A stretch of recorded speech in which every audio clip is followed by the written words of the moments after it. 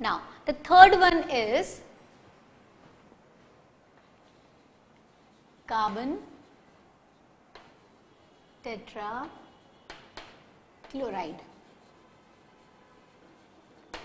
Okay.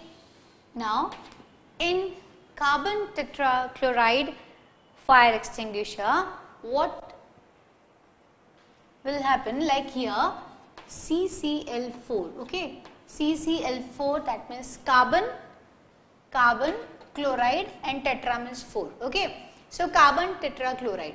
Now, you know carbon tetrachloride when this comes out it gets converted into vapor and again it as soon as it comes in the contact with the burning thing. Okay. Now, this kind is this kind of fire extinguisher is used generally for electricity or electric fire. Okay. Now, when this comes in the contact with the burning thing, so what will happen? It gets spread over the burning thing and again the supply of oxygen gets cut off. Okay. So, now, carbon tetrachloride, what will happen? We do not have to write much over here. So, vapor comes out okay, and this vapor gets spread on burning material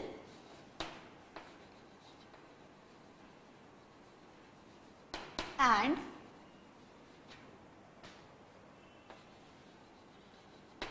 cut off the supply of oxygen. Okay. So, oxygen supply is what it's cut off. So, we have studied first of all a general C structure of the fire extinguisher, a metallic cylinder filled with sodium bicarbonate. Inside that a glass bottle is there which is filled up by what? sulfuric acid. Now it is on getting you know on striking the sulfuric acid get released it reacts with sodium bicarbonate carbon dioxide along with water get released. Okay carbon dioxide what does it do? Carbon dioxide replaces oxygen. That means the first thing happens the oxygen is cut off. Now when the water comes out children the second thing happens that means the ignition temperature is also lower down. Then after this we discussed about the foam, okay, foam what fire extinguishers. Again the same metallic cylinder filled with saturated solution of sodium bicarbonate and along with sodium bicarbonate saponin solution was there and in the glass tube aluminum sulphate was, was there that means hydro, uh, sulfuric acid was not there okay it was replaced by aluminum sulphate. Now what happened in the foam time? When carbon dioxide gas came out along with like when it comes out, when carbon dioxide gas comes out along with that the foam also comes out. Now this foam get spread over the surface of the where oil and it cut off the supply of the oxygen and thus again the fire gets stopped. Foam type of extinguishers are used for the oil uh, fires now, the third one, the last one, the carbon tetrachloride CCl4, when it is used, the vapor of carbon tetrachloride comes out which gets spread over the burning material. It, it is used in the electric fire and again the cut off like supply of oxygen is not there. So, the fire get extinguished. Now, this was about the how you know the fire can be extinguished Okay, what are the conditions which are required for the fire to be extinguished? What are the conditions which are required to stop the combustion? Okay, to stop the burning thing. Now, after uh, you know we studied various things and three conditions also as we say that for burning a thing, for burning a substance, for a substance to undergo combustion, three conditions are required that means to have what so first of all to have combustible substance and supporter that means oxygen and to reach to that temperature that means to reach to ignition temperature. Now here when we talk about extinguishing a fire we have just opposite three things that means removal of a combustible substance cut off of oxygen and to bring down the substance below ignition temperature.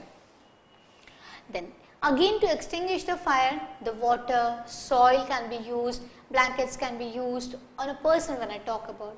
In general to extinguish the fire, different kind of fire like you know different means are used.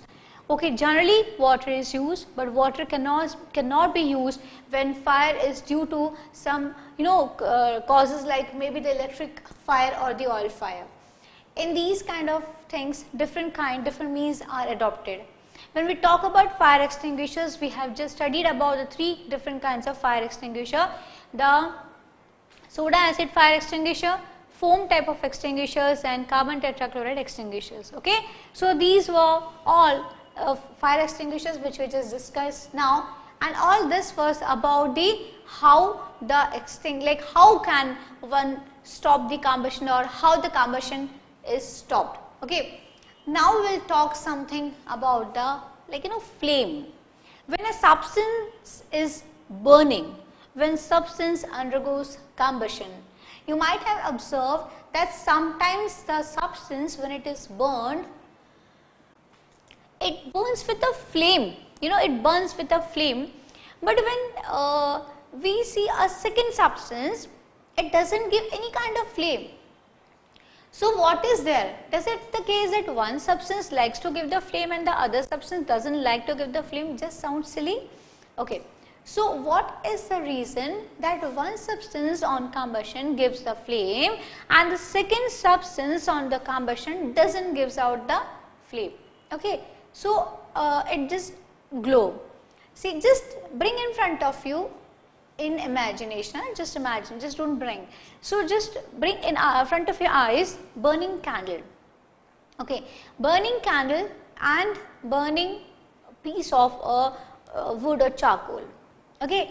So, there are certain substances which when burn, they what they show flame, you can understand that yeah, flame is coming out, okay. As you take the example of the candle, you will find that flame comes out okay. But in the same way when we talk about coal, charcoal, wood, you will find that it does not burns with a flame. Okay, in the beginning, okay, I am talking, I am saying that even in the beginning, the wood some for some few minutes, okay, it burns with a flame, but again then it does not gives a flame and then, then it starts glowing only. So, what is the reason of being giving flame and not giving flame?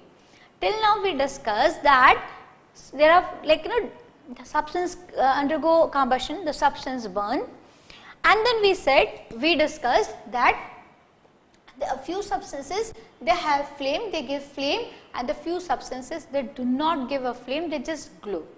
Now why we will study now. See children, when the substance undergoes a complete combustion. Okay. When a substance undergoes a complete combustion that means when a substance is burning completely. Okay. For a substance to burn completely what is required? Oxygen is required in proper amount. Oxygen is required in sufficient amount. When a burning substance is getting sufficient amount of oxygen, when a burning substance is getting proper amount of oxygen, then it will burn properly and that combustion is known as what? Complete combustion. That means a complete combustion is taking place. Okay, when the substance undergoes complete combustion, okay, then there is no flame. Like you know, it, it is known as uh, it. What what will happen? The combustion is total, and so the like you know it becomes luminous. So, we were talking about when a substance gives a flame and when a substance do not give a flame. Okay. For a substance, if we say that the substance is giving flame, that means you know when a substance gives flame, when when a substance is burning in its vapor form. Okay. That means when gas is reacting with a gas. Okay. So, in that condition, the substance will give flame. Okay. See for example, when I talk about when I talk about a candle, okay, I am talking about a candle, okay. So, when this candle is burning, it is giving a flame. So, why it is giving a flame? I am saying that a flame is produced, okay, a flame is produced when gas reacts with gas, okay. That means here this part of the candle is obviously solid okay? You will find some melted wax over here and you know it gets vaporized here because of the heat okay? So what is burning here? The vapor of wax is burning. What is burning over here? Vapor of wax okay wax vapor is burning so, when wax vapor is burning along with what? It is combining with oxygen. That means two gaseous form. Okay. Vapor means what? Gaseous form of the like I am talking I am saying vapor of wax is burning and it is combining with oxygen means that means only burning. So, that means when two gaseous substance they react okay or in the simpler way when a substance burns Okay, when a substance burns in its vapor condition, then the flame is produced. Okay, but when a solid burns, when solid burns, the flame is not produced. So, we will talk again about this thing like we are talking about the flames. Okay, so we'll just again I will talk about the flames. What is how is flame form okay? I am saying few substances okay? Few substances.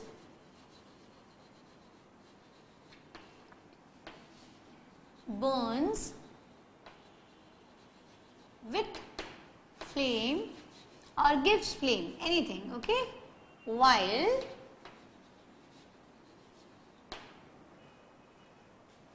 few just glow. Okay, few substance just glow. I am saying that when few substance like substance are burned, few substance burns with what flame and the few just give like few just glow. Okay. So, when the flame is formed, okay, when how the flame is formed children? When a substance when a combustible substance when a combustible substance burns in a vapor form okay. When a substance why I have written combustible substance? The substance which burns is combustible substance. So, so when a combustible substance burns in a vapor form or when a combustible substance burn in its vapor form. Both are correct. That okay. So when the substance which is burning is in the form of vapor. I can even write this that when gaseous combine that means here the substance which is burning is also in the gaseous form and it combines with oxygen. Then what will happen? Again like I can say the flame is formed. So, when we talk about a candle, a candle is burning. So, the lower part obviously it is visible, it is solid. Okay, near the wick, okay, near the wick the melted part is there which get vaporized during the burning.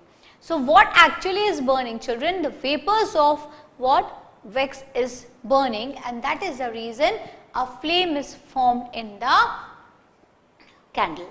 But when we talk about wood children, in the beginning for few moment, few minutes sorry, you will find a flame because a substance, few you know uh, substances are there which get you know a few things are there which immediately get vaporized. So, that burns in the beginning but then it starts glowing. Okay. So, this is how we can say that the substance will give flame or it won't give flame. Now, Now how we can study flame children? What is there in the flame? So you know even the flame has different parts. Okay, even the flame has different parts. A flame can has luminous part first of all. Okay, a flame can has first of all I will tell you uh, the difference between the you know the luminous and the non-luminous part. Okay, luminous part and non non-luminous.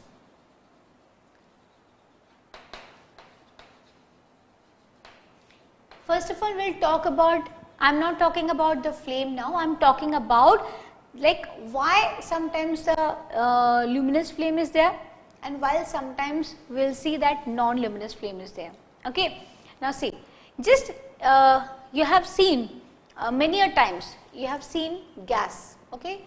Gas which we use LPG at our, uh, in our kitchen it burns with a blue color okay so our kitchen gas or lpg okay it burns with the blue color.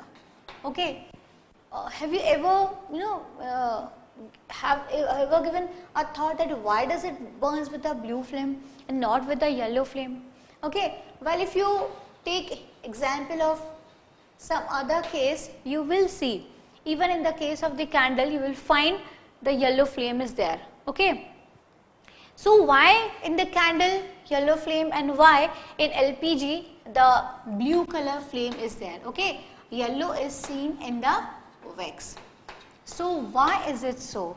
See children when we talk about LPG the blue flame is there because the particle see in LPG means what? Liquid petroleum gas okay? Liquid petroleum gas means what?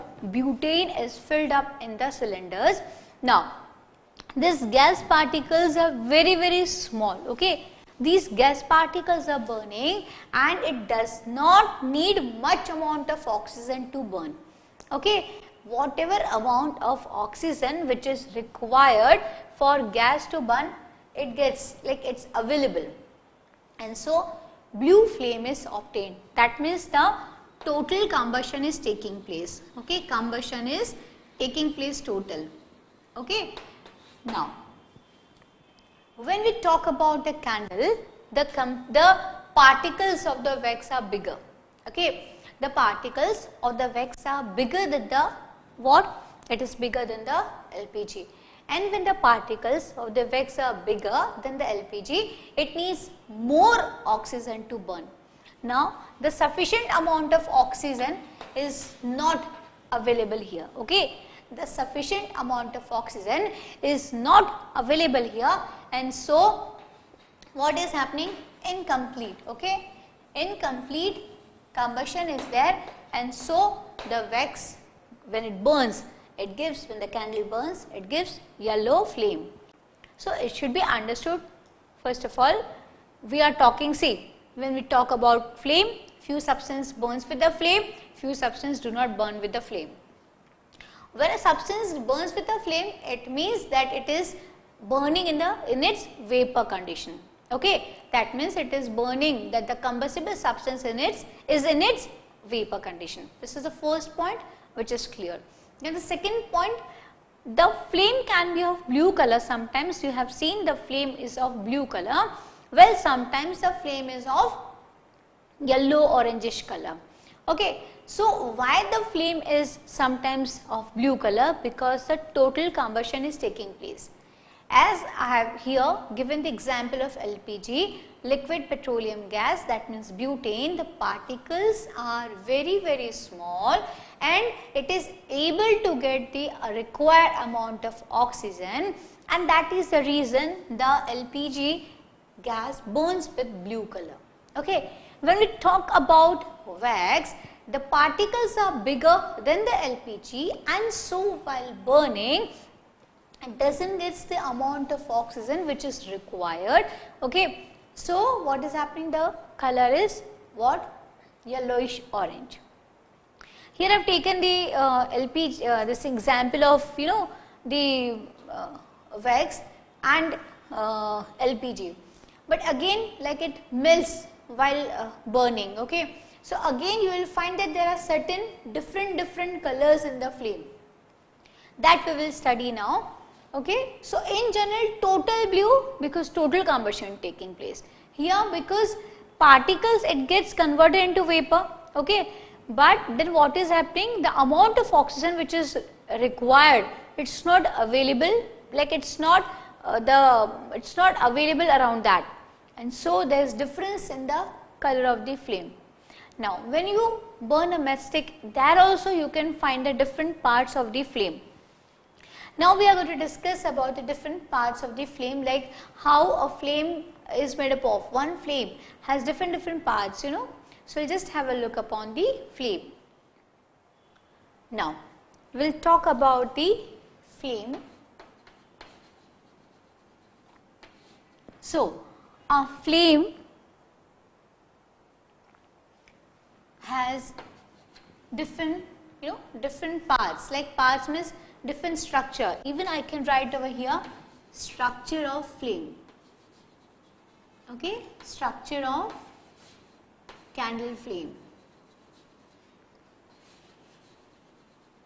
Okay? Structure of candle flame. Now First of all, the first part is non-luminous, okay? Non-luminous. Are you getting it? It's the first part is non-luminous of complete combustion.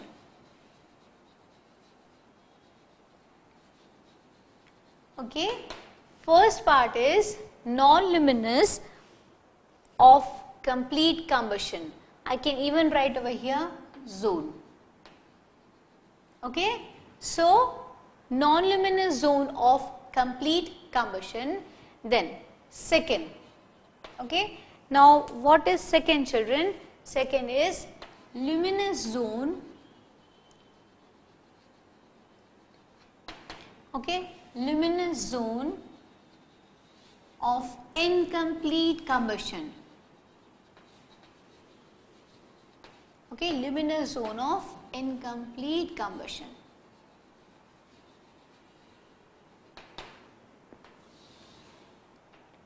Now, the third part is dark zone. Okay, the third part is dark zone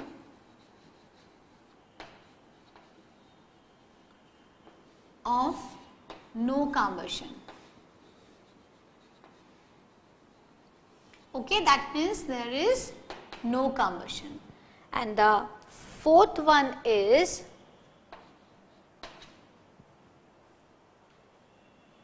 blue zone.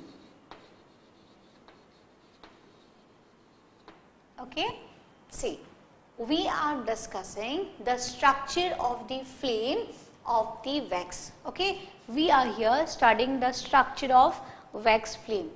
Now it has got four zones. It has got four zones. Okay, the first is non-luminous zone. Okay, non-luminous zone of complete combustion. Second, luminous zone of incomplete combustion. Third, dark zone of no combustion and fourth blue zone. Okay. So, first of all what we are studying over here, we are studying structure of combustion of what structure of candle flame, okay, not combustion. Oh my god, I have written D. Yeah, it's correct. Yeah, okay. So, now the first one non-luminous of complete zone. Now, try to understand children. Now, non-luminous, I have written non-luminous zone of complete combustion. Means whenever the combustion is complete, okay, okay, complete combustion means what just now I told when the amount of oxygen is proper. Okay, when something is burning and that burning substance is able to, you know, it, it is the amount of, of oxygen which is available is quite sufficient for burning. Now, when the amount of oxygen which is which is there available is sufficient, okay, then the flame becomes non-luminous. It doesn't, no, it doesn't glow. It is what bluish type. It doesn't glow. But when the what combustion is incomplete, children, when the combustion is incomplete, okay, what will happen? The substance which are unburned. Substance means what? The particles. Okay, the uh, the particles which are left unburned, they glow, and that is the reason. And always remember in an incomplete combustion always luminous zone will be there. Luminous zone will be there means the flame will be you know it will glow yellowish color. Okay. Now dark zone that means why dark zone a part where there is no light there is no burning is happening that means the availability of oxygen is not there and the blue zone okay this is again a zone where again I'll tell you how carbon monoxide is produced and that is burning. Now, first of all the flame. This is the candle. Now, this is the wick. Okay, and wick has produced the flame.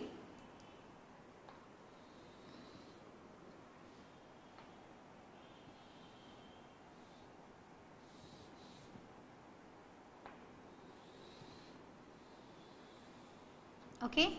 Wick has produced the flame. Now children the outermost part it is not visible actually clearly okay? The outermost part this part is slightly blue you know? This part is slightly okay? This part is slightly blue why slightly blue? Because again what is there? It is which kind like what it is? It is the non-luminous zone of complete combustion.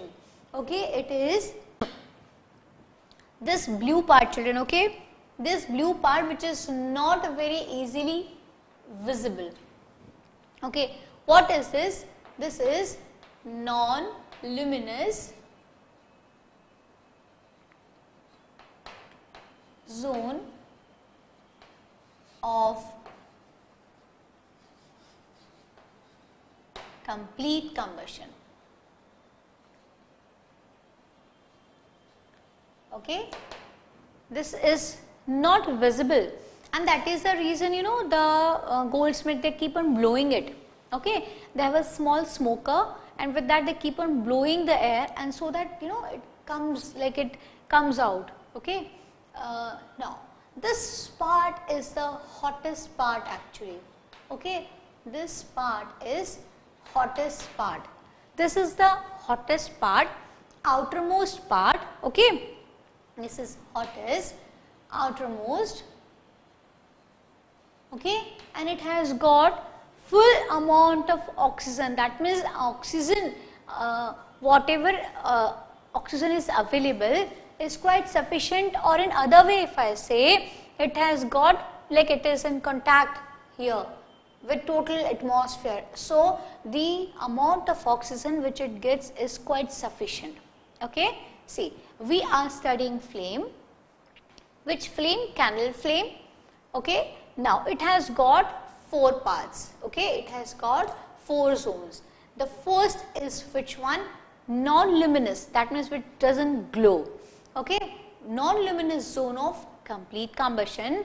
Now we are studying this one which is of blue color. It's not as visible as the other zones are visible as very clearly okay?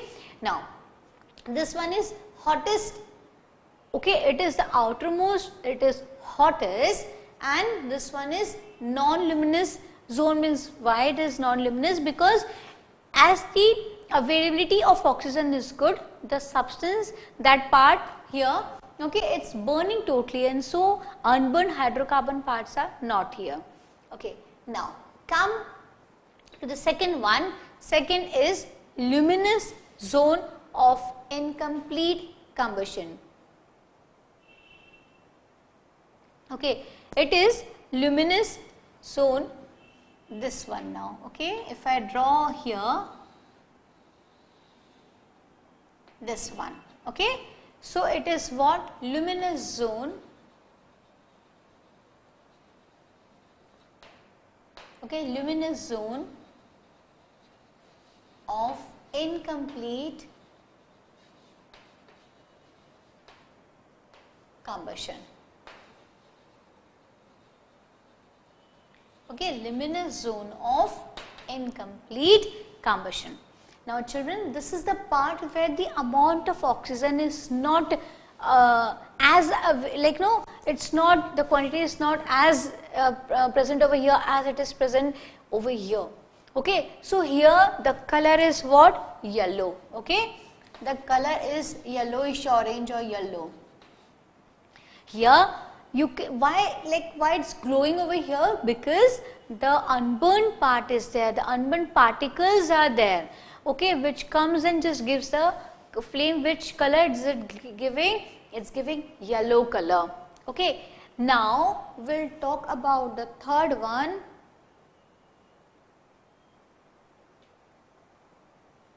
okay now we'll talk about the third one here the dark zone okay the dark zone.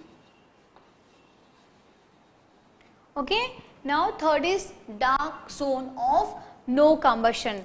That means why see the name itself suggests the dark zone of no combustion. No combustion means what? There is no combustion that means here oxygen is not available. Okay, oxygen is not available. I have written present so I have present. Okay. See outermost hottest this is the outermost it burns like this flame is of yellow color okay and it's not visible easily okay here the availability of oxygen is quite good that is the reason the color of the flame is blue it's not yellowish orange okay and this is not visible and so the goldsmith they keep on blowing so that this flame comes out. This is the hottest part of the flame. Now, come to the next one. Next is what? Luminous zone of incomplete combustion. That means unburned particles of hydrocarbons can be seen. That is the reason it becomes a yellow orange part. Okay, that is the reason it becomes yellow orange orange part. Now, here the dark zone is there. Why dark zone? That means no combustion is taking place. What is not taking place? Combustion is not taking place. Now last this part is known as blue zone. Okay. Now why it is blue zone? You might or you should think actually when I am writing blue zone that means total combustion should take place but total combustion of what is taking place that is more important children due to the this one this yellow one okay unburned carbon is there unburned hydrocarbons are there okay now due to incomplete combustion okay due to incomplete combustion carbon monoxide is produced okay. Due to what? Incomplete combustion carbon monoxide is produced. When carbon monoxide is produced, so what will happen children? This now here it burns, okay, here it burns and it burns with the blue flame, okay, it burns with the blue flame. So again we will revise it first of all. First of all, it has got what? Four zones, okay. The outermost zone is what? It is the hottest outermost okay, and the availability of oxygen.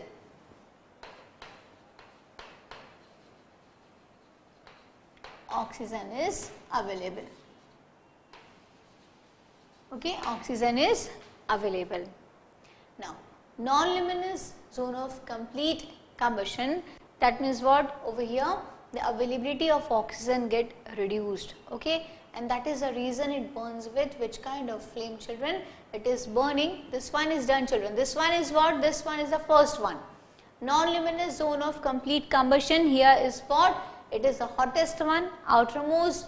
It oxygen is available over here and that is the reason it burns with the blue flame okay now come to the next one luminous zone of incomplete combustion here the availability of oxygen get decreased and so it burns with yellow orangish flame. Okay. Now come to the next one at the upper end of the wick. Okay. What is there? It is known as dark zone and there is no combustion taking place. That means here combustion is not taking place here. No combustion is taking place. And this one here carbon monoxide is burning. So if I have to write over here some important point, this all things I have written over there. Now, here dark zone, what should, what should be the point children? That here the, what? Nothing like combustion is absent, okay. No combustion means what? Combustion is absent here, okay. And here what is burning children? Carbon monoxide is burning. So, this is the structure of the flame, okay. First of all, the flame like we can see that some substance burns with flame while some substance do not burn with flame. When a substance can burn in with a flame? When the vapor uh, part, okay, when, when the combustible substance is burning in its vaporized uh, condition. Okay, that means when its vapors are burning. So, when its vapors are burning children, that means in then in that condition only the flame, flame is possible. We can see the flame only when the substance burns in its vapor form. Now, so here the substance is burning in its vapor form and so we are studying the structure of the flame.